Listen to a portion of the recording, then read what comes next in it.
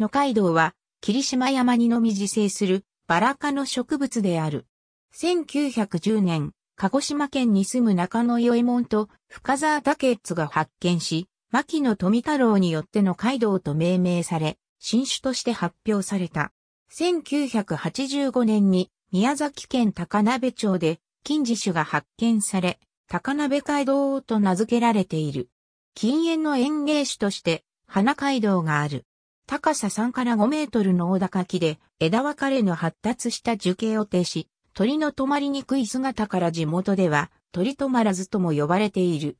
葉は長さ3から5センチメートル、幅1.5から3センチメートルの楕円型で、円は虚子状である。5月上旬に赤色のつぼみから薄桃色の直径2から2.5センチメートルの花を咲かせる。花の後に直径8ミリメートルの実を結び秋には赤く色づく。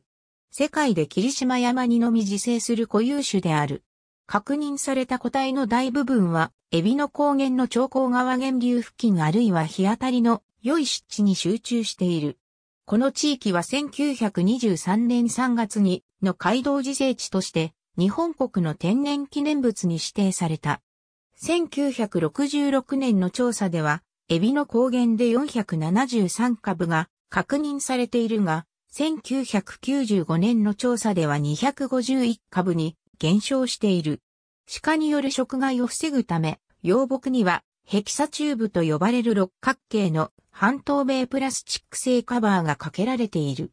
洪水などによって広範囲で食性が失われた場所に定着した種であると考えられており、繊維によって食性が変化し日当たりが悪くなるに、従って急速に衰退しつつある。衰退を防ぐためには、周辺の植生に手を入れる必要があるが、自生地は国立公園内にあり天然記念物でもある。ため大規模な植生の変更は認められておらず、自生地が消滅する可能性も指摘されている。絶滅危惧 IB 類1997年では IA 類とされるが、2007年に IB 類に変更。